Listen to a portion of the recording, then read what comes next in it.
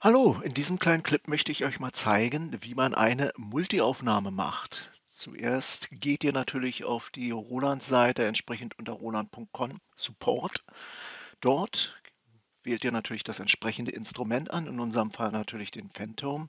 Dabei ist es egal, ob ihr jetzt Phantom 6, 7 oder 8 nehmt. Letztendlich sind die Treiber dieselben.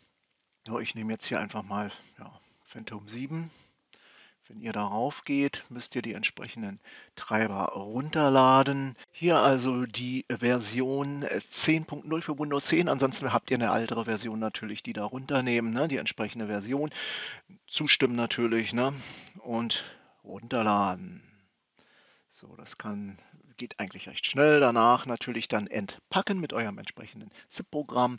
Und ähm, wenn ihr Windows 7 und 8 habt, müsst ihr die Treiber unbedingt installieren. Ja, ich lade hier nochmal runter. Ihr müsst die Treiber für 7 und 8, für Windows 7 8 installieren. Das mache ich jetzt mal hier. Da geht ihr dann einfach auf Setup. Das ist für Windows 10 nicht notwendig. Also jetzt für 7 und 8 ist es notwendig. Mit OK bestätigen. Und dann werden die entsprechend installiert, die Treiber. Hier kriege ich natürlich, weil ich Windows 10 nutze, eine entsprechende Fehlermeldung. So, ich bestätige das mal mit OK.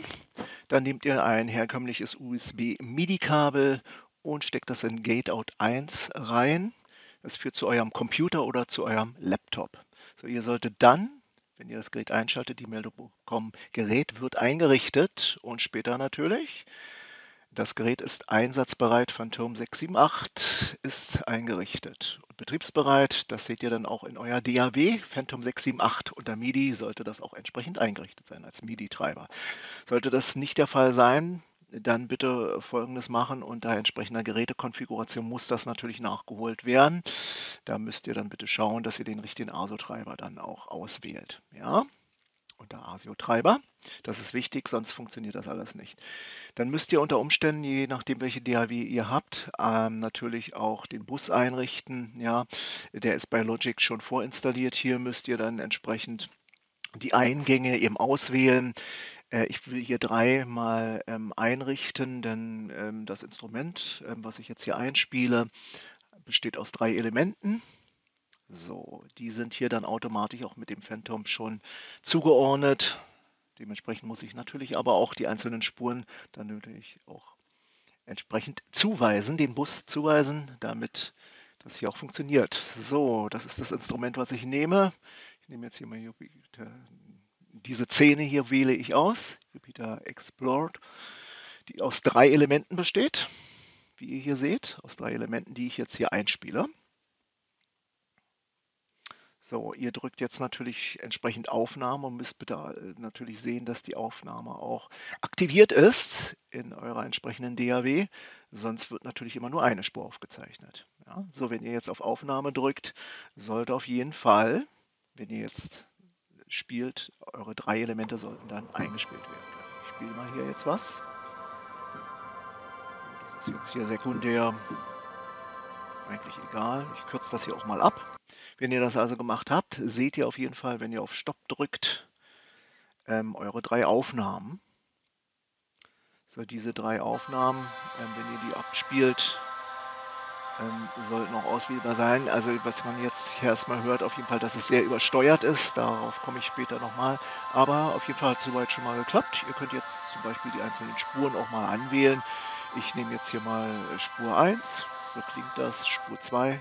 1 und 2 zusammen. Jetzt mal Spur 1 muten. Wenn ihr jetzt mal, ich wiederhole das jetzt mal, dann werdet ihr hören, das ist jetzt Spur 2. Und jetzt nehme ich mal Spur 3 mit hinzu. Hier hört ihr natürlich, dass es sehr, sehr übersteuert ist. Hier müssen wir natürlich mal sehen, ähm, wie wir das regeln können, auf was wir da achten müssen.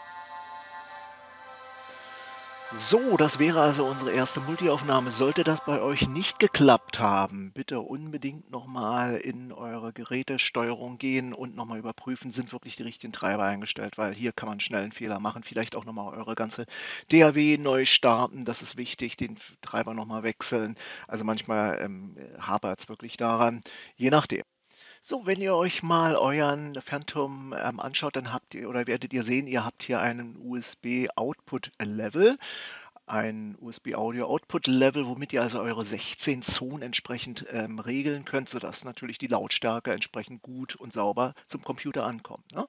Also bei mir liegt hier der Audio-Output-Level bei ja, ca zwei, drei Strichen. Und ihr müsst natürlich darauf achten, dass der Audioausgang auch eingeschaltet ist und er muss auf Rot stehen, bitte nicht auf Grün. Falls er auf Grün stehen sollte, bitte die Shift-Taste drücken und nochmal die Audiotaste und zack, schon kann es losgehen. Ich mache jetzt hier nochmal eine Aufnahme, kürze hier wieder etwas ab.